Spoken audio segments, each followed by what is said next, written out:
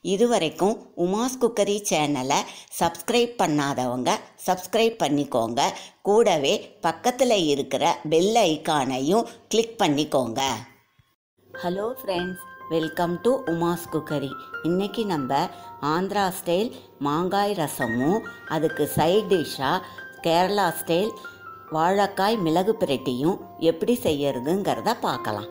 நம்ம சேனல்லையே கேரட் ரசம் எலுமிச்சம்பழ ரசம் கொத்தமல்லி ரசம் இது எல்லாத்தையும் போஸ்ட் பண்ணியிருக்கோம் இதனுடைய வீடியோ லிங்க்கை டிஸ்கிரிப்ஷன் பாக்ஸில் கொடுத்துருக்கேன். வேணுங்கிறவங்க செக் பண்ணிக்கோங்க. முதல்ல மாங்காய் ரசம் செய்யறதுக்கு குக்கரில் அரை கப் பருப்பை சேர்த்து நல்லா கழுவிட்டு ஒரு கிளாஸ் தண்ணி சேர்த்து கால் ஸ்பூன் மஞ்சள் தூள் சேர்த்துருங்க. குக்கர் மூடிட்டு ரெண்டிலிருந்து மூணு விசில் விட்டு எடுத்துக்கோங்க. ஒரு மாங்காயை நல்லா கழுவிட்டு பீலரில் மேல் தோலை எடுத்துடுங்க. தோலை நல்லா எடுத்துட்டு இது போல் க்யூப்ஸாக கட் பண்ணி நீராவியில் பதினஞ்சிலிருந்து இருபது நிமிஷம் வேக வச்சு எடுத்துக்கோங்க. பருப்பும் மாங்காயும் நல்லா வேகட்டும். அதுக்குள்ளே நம்ம வாழைக்காய் மிளகு பிரட்டிக்கு. வாழைக்காயை நல்லா கழுவிட்டு ரெண்டு பக்க ஓரங்களையும் கட் பண்ணிட்டு பீலரில் மேல் தோலை சீவிடுங்க. இதையும் க்யூப்ஸாக கட் பண்ணிட்டு உப்பு சேர்த்த தண்ணியில் சேர்த்துருங்க. இல்லைன்னா வாழைக்காய் கருத்து போயிடும் இந்த அளவுக்கு வாழைக்காயை க்யூப்ஸாக கட் பண்ணிக்கோங்க. வாழைக்காய் வேக வைக்கிறதுக்கு பேனில் ரெண்டு கிளாஸ் தண்ணி விட்டு அரை ஸ்பூன் கல்லுப்பு சேர்த்து கால் ஸ்பூன் மஞ்சள் தூள் சேர்த்து நல்லா கொதிக்க வைங்க.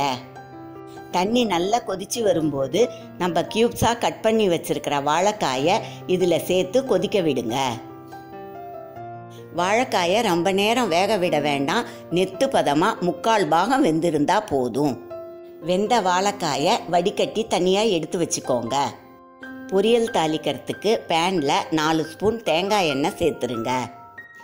இந்த வாழைக்காய் மிளகு பிரட்டி பொரியல் தேங்காய் எண்ணெயில் செஞ்சாதான் நல்லா இருக்கும். தேங்காய் எண்ணெய் ஓரளவு காஞ்சதும் அரை ஸ்பூன் கடுகு அரை ஸ்பூன் ஜீரகம் ரெண்டு பச்சை மிளகாயை கீறி சேர்த்துருங்க. கூடவே பதினஞ்சு சின்ன வெங்காயத்தை பொடியாக நறுக்கி சேர்த்துட்டு கொஞ்சமாக கருவேப்பிலையை சேர்த்துருங்க. ஒரு சிட்டிகை உப்பு சேர்த்து வெங்காயத்தை நல்லா வதக்கிக்கோங்க. வெங்காயம் கண்ணாடி பதம் வந்ததும் நம்ம வேக வச்சு வச்சுருக்கிற வாழைக்காயை இதில் சேர்த்துருங்க. பொரியலுக்கு தேவையான அளவு உப்பு சேர்த்துட்டு காரத்துக்கு தேவையான அளவு மிளகுத்தூள் சேர்த்துக்கோங்க. நான் அரை ஸ்பூன் சேர்த்துருக்கேன். இது மிதமான காரத்தில் இருக்கும். கூடவே கால் ஸ்பூன் பெருங்காயத்தூளும் சேர்த்து கலந்துக்கோங்க.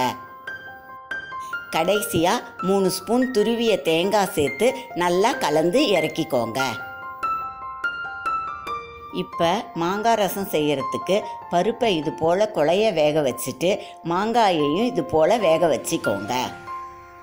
வெந்திருக்க மாங்காயை நல்லா சூடாறுனதும் மிக்சி ஜாரில் சேர்த்து தண்ணி சேர்க்காம நல்லா அரைச்சிக்கோங்க. மாங்காய் ரசத்துக்கு தேவையான மசாலா பவுடர் அரைக்கிறதுக்கு ஒரு ட்ரை பேனில் பதினஞ்சு வெந்தயம் ஒரு ஸ்பூன் தனியா கால் ஸ்பூன் மிளகு சேர்த்துக்கோங்க. இதை ரெண்டு நிமிஷத்துக்கு லோ ஃப்ளேம்லேயே வாசனை வர்ற வரைக்கும் வறுத்து எடுத்துக்கோங்க. இது சூடு ஆறுனதும் மிக்சி ஜாருக்கு மாற்றி நைஸாக பொடி பண்ணிக்கோங்க. மாங்காய் ரசம் செய்யறதுக்கு பேனில் நாலு ஸ்பூன் எண்ணெய் விட்டு எண்ணெய் காஞ்சதும் அரை ஸ்பூன் கடுகு அரை ஸ்பூன் ஜீரகம் மூணு பச்சை மிளகாயை கீறி சேர்த்துட்டு கூடவே ஒரு ஸ்பூன் துருவிய இஞ்சி சேர்த்துக்கோங்க. நாலுலேருந்து அஞ்சு பல் பூண்டை தட்டி சேர்த்துட்டு அரை ஸ்பூன் பெருங்காயத்தூள் கொஞ்சமாக கருவேப்பிலையை கிள்ளி சேர்த்துருங்க. இதுலேயே நம்ம அரைச்சி வச்சிருக்கிற மாங்காய் விழுத சேர்த்துட்டு ஒரு கிளாஸ் தண்ணி சேர்த்துருங்க. இதை நல்லா கலந்து விட்டு லேசாக ஒரு கொதி வந்ததும் நம்ம ஏற்கனவே வேக வச்சு வச்சுருக்கிற பருப்பை தண்ணியோடு இதில் சேர்த்துருங்க. பருப்பை சேர்த்ததும் நல்லா கலந்து விட்டு ஒரு கிளாஸ் தண்ணி சேர்த்துருங்க. ரசத்துக்கு தேவையான அளவு கல்லுப்பை இதில் சேர்த்துட்டு காரத்துக்கு ரெண்டு ஸ்பூன் சாம்பார் பொடி சேர்த்துருங்க. இதை ஒரு தடவை நல்லா கலந்துட்டு கொஞ்சமாக கொத்தமல்லி இலைகளை சேர்த்துருங்க. உப்பு காரம் புளிப்பு இதை சமம்படுத்தி காட்டுறதுக்காக ஒரு ஸ்பூன் சர்க்கரையை சேர்த்துக்கோங்க. கடைசியாக கால் ஸ்பூன் பெருங்காயத்தூளை சேர்த்து நல்லா கலந்துக்கோங்க. ரசம் ஒரு கொதி வந்ததும் நம்ம பொடி பண்ணி வச்சிருக்கிற மசாலா பவுடரை சேர்த்து கலந்துருங்க. ரசம் நல்லா கொதிச்சு மேலே நுரக்கட்டி வரும்போது இதை இறக்கிடுங்க.